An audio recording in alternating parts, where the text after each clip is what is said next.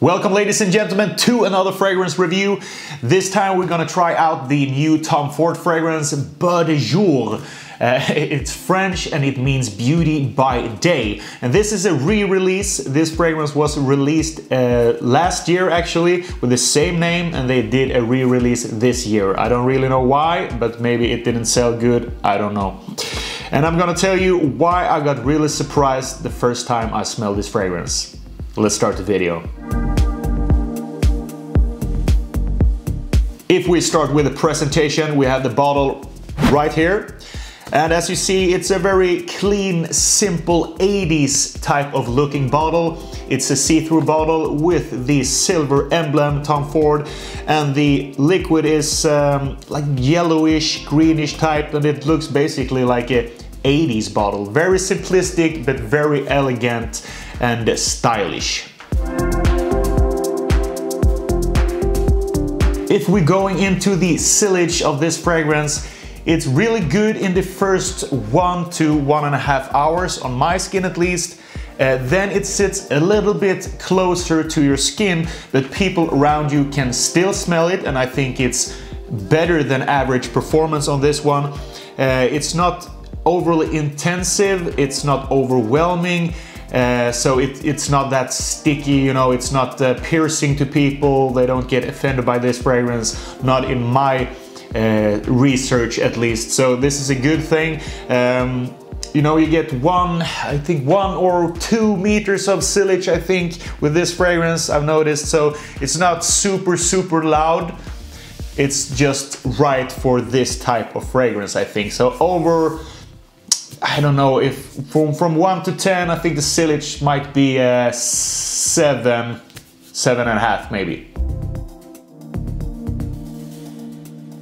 I already have the dry down here, and now I'm gonna spray a little bit so you so I can smell the uh, fresh opening again. So uh, let's put some fragrance here on my left arm.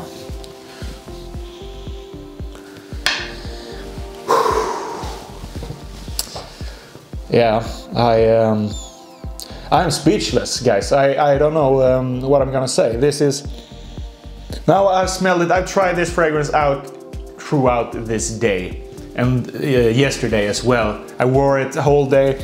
I smelled it. And my first impression of the smell, it's, it's open up with a heavy mint slash lavender uh, opening, basically. It's very fresh, very clean. It has a little bit of that cleaning type of scent in the opening. So for some people, it could smell a little bit too much, like in the first 3.7 seconds when you smell it. Because it's very little bit piercing in the opening and when I first smelled it I, I thought to myself oh not another fougere type of fragrance oh this is gonna smell like uh, old man again and stuff like that and I wasn't that pleased with the opening. I thought it's gonna smell like the old old fragrances, the Xerjoff Homme or something like that, or uh, maybe the Floris Elite fragrance that it has a typical old smelling uh, type of scent. But then something happened. Uh, this fragrance is not at all a linear type of fragrance, guys. So don't get fooled by the opening because it's a very mature opening. It has that little bit of old smell to it, that 70s, 80s vibe to this fragrance. But I have the dry down here. This is a dry down from one hour. And it's, uh, I, I just think this is amazing dry down, you know. After 3.5 minutes, you know, it, it goes down, it, they, they get some little bit more creamy type of scent to it. Then it uh, goes down to the um, heavier dry down and then you get the oak moss and also a bit of basil what's and uh, rosemary I think is in the fragrance as well. But usually when you have this basil, rosemary and oak moss in a fragrance I feel that is a very, very old type of scent. But this is not, not at all that for me. This is a more youthful take of a mature fougere type of fragrance from the 70s or 80s. You know? So don't get fooled by the opening, it gets better, I promise. This is not a linear type of fragrance. To, to describe this feeling, what this smells like, guys, I had a, uh, had a film in mind that I saw a couple of years back that I really love this movie. It's called A Good Year. It's with Russell Crowe in the um, leading role in this movie. And I'm gonna put in a clip here in the video, guys, so you can see a little bit the surroundings I'm talking about. I'm speechless right now, so I just play this clip so you can see what I mean.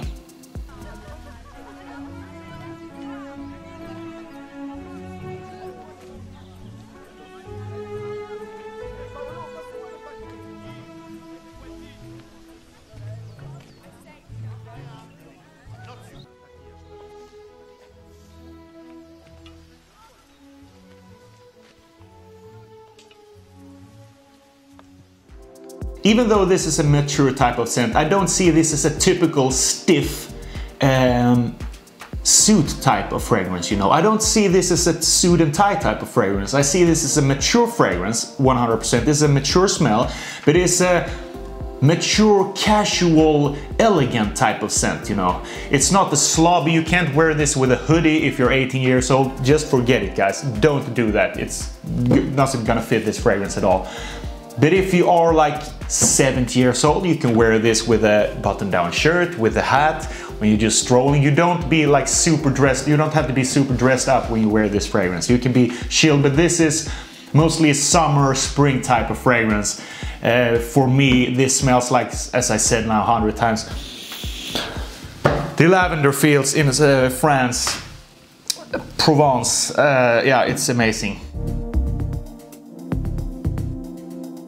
Of course guys, it's a Tom Ford fragrance and most Tom Ford fragrances are really expensive and this is not an exception. For a 50 milliliter bottle you have to pay around 100 to 120 dollars for a little bottle and um, it's pricey, I know guys, it's a, it's a pricey fragrance, but I can guarantee you this is a high quality juice in this fragrance. And if you love this lavender type, a little bit mature type of scent with oak moss and that type of notes in there. I think this is totally worth it if you have the money to spend on this type of fragrance. Beautiful spring summer fragrance, awesome. It's a mature scent, but also really casual. Yeah, it's, it's awesome. It's old but modern smelling type of fragrance. It's nothing for the teenagers. I think this is a fragrance that you uh, want to wear when you're 30 years and up. I think from 30 till you die, you can wear this fragrance basically. So it's a very mature scent, but it has a modern touch to it because it doesn't smell only like the old 70s, 80s type of fragrances. So you can have it both when you are casually dressed, I think, and a little bit dressed up, but it's not a typical boring youth, uh, boring suit and tie type of fragrance. Okay, so for me it's a spring summer fragrance. I don't think this would perform that good in the winter. I don't know, I could be wrong there, but uh, I think this is more a summery, fresh type of fragrance with a really mature twist of the oak moss, basil and uh, the lavender mixed up. It smells like Provence, it smells like the hopeful lavender fields, the vineyards, the lavender field, all that that vibe, you know. That's what this fragrance is uh, giving me. I get all, all excited, so Sorry if this is a blabbering type of review, but I really would suggest you, if you're 30 years and up and watching this video, buy a sample of this Tom Ford Beau de Jour fragrance, try it out, try it for a couple of days, and don't get, don't get scared of the opening if it's too mature for your typical type of uh, scent, what you like. Because me, I don't really like this mature type of old scent either. Not at all, guys. I'm, I'm more like a fresh, clean type of guy, as you might know with uh, if you see my videos. But this one, this one really surprised me because it's it's both. It is fresh and clean. I love the lavender notes in this, but it's also mature. I can wear it. I know I, I can wear this when I'm 70, but I can also wear it now when I'm 33 years old. So once again,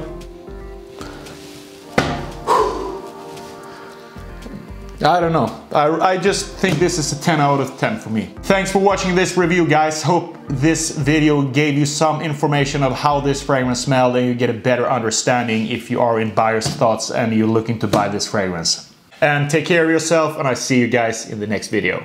Ciao.